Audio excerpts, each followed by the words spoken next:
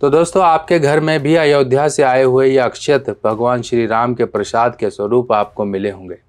पर कई लोगों ने इसको संभाल लिया होगा और कई लोग नहीं संभाल पाए होंगे। कई लोगों ने पूजा पाठ भी कर ली होगी और ये अक्षत उनके पूजा स्थान में अभी भी ऐसे ही रखे होंगे। पर इस चीज़ का ध्यान रखिए, ये अक्षत मात्र पीले रंग के चावल नहीं है। ये आपके जीवन में पता नहीं कितनी परेशानियों को दूर कर सकते हैं। और ये अक्षत स्वयं में आपके जीवन में इस तरह से माँ लक्ष्मी को प्रकट करने वाले हैं कि जिस तरह से अमावस्या के बाद पूर्णिमा की चांदनी आपको जीवन में महसूस होती है। तो इसी तरीके से आपको इस अक्षतों का क्या करना है? ये अक्षत आप किस तरह से अपने जीवन में उपयोग करें? आज मैं आपको यही जानकारी देने वाला हूँ क्योंकि ये अक्षत, मात्र अक्षत, पीले रंग के अक्षत नहीं हैं। ये आपकी किस्मत को बदलने वाले अक्षत हैं। तो सबसे पहले हम समझ लें अक्षत है क्या। अक्षत का मतलब है अक्षत, जो कभी भी खत्म ना हो, यानी कि निरंतर चलते रहें। या जैसे कि अक्षत जो है, चावल जो है, माँ लक्ष्मी के स्वरूप माने जाते हैं। तो इसी तरीके से जो भी हमारे जीवन में चलता रहे, जो कभी खत्म ना हो माँ लक्ष्मी है। हमारे जीवन में सुख समृद्धि जो है, माँ लक्ष्मी है। और माँ लक्ष्मी को वही पा सकता है जो विष्णु जी को प्रिय हो। विष्णु जी को ध्याय विष्णु जी को पूजा करें, क्योंकि अकेले आप माँ लक्ष्मी को पूजन नहीं कर सकते हो और अकेले ही आप विष्णु जी को ही पूजन नहीं कर सकते हो। तो दोनों को आपको एक साथ लेकर आना होगा ताकि दोनों के दोनों ही एक साथ आपके घर में और आपके जीवन में सुख शांति के लिए विराजमान हो। सबसे पहले देखिए, ये अक्षत जो हैं, हल्दी लगे पीले चावल हैं। ये अयोध्या में श्री राम जो मूर्ति है और इतना भव्य आयोजन हो रहा है, उसकी प्राण प्रतिष्ठा के समय पर आपके घर घर आके लोगों ने आपको दिए हैं आमंत्रण के तौर पे। अब इन अक्षतों से आपने क्या करना है? देखिए, दो तीन उपाय हैं कि पहला तो ये काम करना है कि आपने ये अक्षत लाल या पीले कपड़े में बाँध कर अपने घर के वहाँ पर रखना है जहाँ पर आप रुपया पैसा रखते हो। ये नहीं कि आप अपने घर के पूजा स्थान में रख लो, कुछ दिन में ख़राब हो जाए, फिर आप फेंकते फिरो। नहीं, कभी नहीं।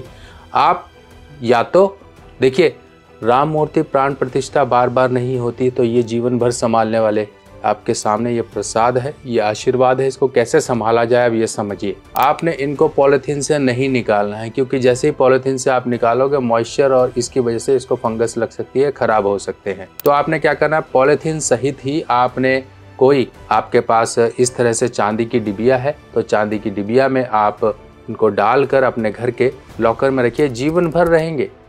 अब उपाय इनसे बहुत सारे हैं, उपाय भी समझिए, क्योंकि ये थोड़े से ही आपको मिले होंगे।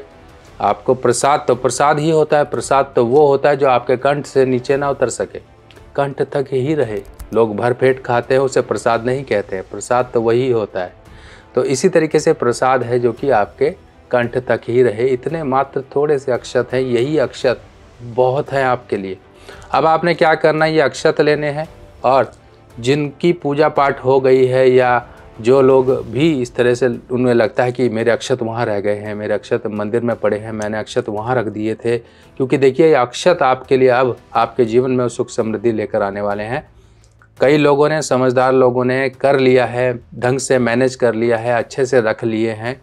पर ये सोचिए कि आप बार बार इनको खोल नहीं सकते हो।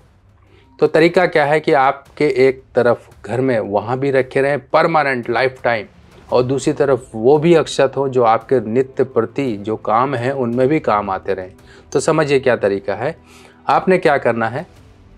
अब इसमें से लगभग आधे से ज़्यादा की क्वांटिटी को आप अक्षत को निकाल के किसी पॉलीथीन में इस तरह से कैरी पाउच में डाल के जिप लॉक वाले में आप डालकर आप अपनी इस तरह से कोई चांदी की डिबिया खरीद लीजिए, उसके अंदर रख लीजिए।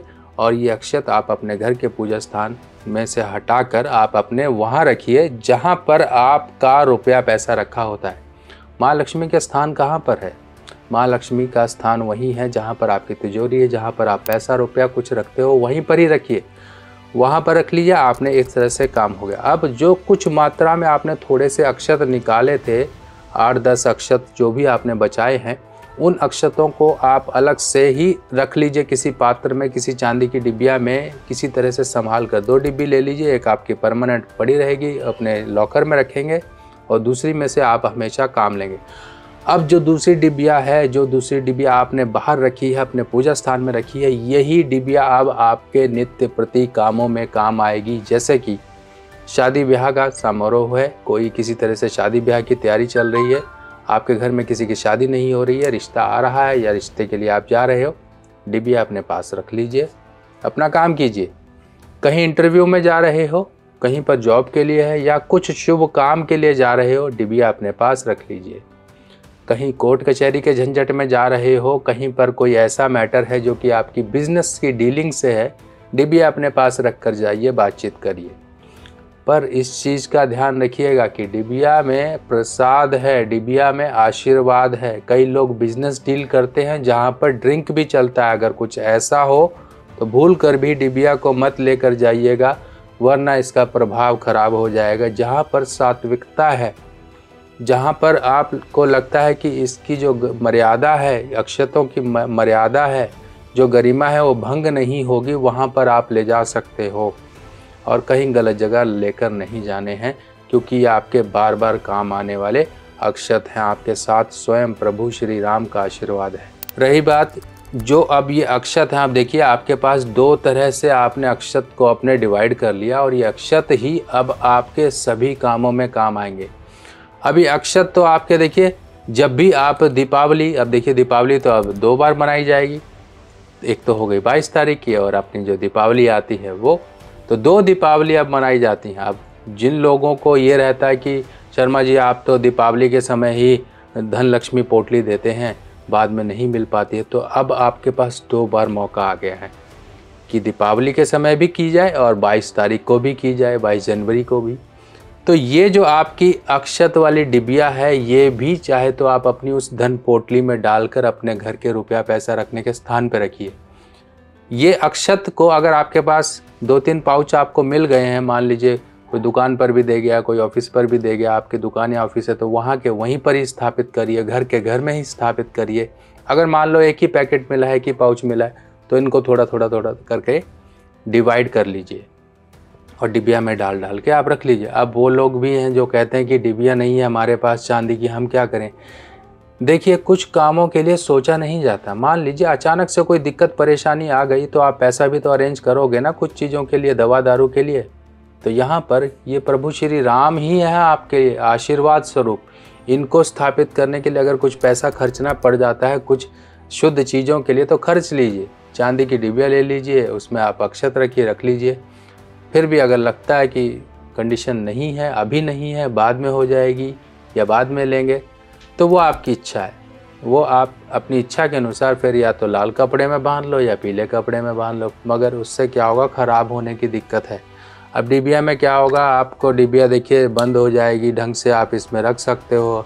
आपके अक्षत जो होंगे, इनको आप अच्छी तरह से फोल्ड करके इसमें डाल के और इनको बंद करके आप रख सकते हो। मान लो इस तरह से अक्षत आ गए और ये इस तरह से आपने डिबिया को बंद भी कर लिया। अब देखिए एयर टाइट हो गया, ना हवा लगेगी, ना कुछ होगा, ना ख़राब होगा। जीवन भर रखा रहेगा। ये अक्षत तो जीवन भर संभालने वाले हैं। तो इस तरह से इन अक्षत को इस तरह से रिगार्ड दीजिए। इस तरह से आप इज़्ज़त दीजिए कि आप जितना आप अपने सामर्थ्य अनुसार कर लेंगे, उतना ही आपके लिए वही चीज़ वरदान के रूप में साबित होगी। वरना दुनिया भर में बहुत से झंझट हैं, बहुत खर्चे हैं। सभी में तो आप करते रहते हो कभी कभी तो अपने धर्म, कर्म के नाम पर खर्चा करो। महँगा मोबाइल लेना है, महँगे कपड़े लेने हैं, कुछ भी लेना, उन सब पे तो हर कोई इंसान कर देता है। लड़ झगड़ कर कर देता है। चलिए दोस्तों, बाकी आपके घर में प्रभु श्री राम और माँ लक्ष्मी हमेशा विराजमान रहे। मैं यही कामना करता हूँ। जय श्री राम।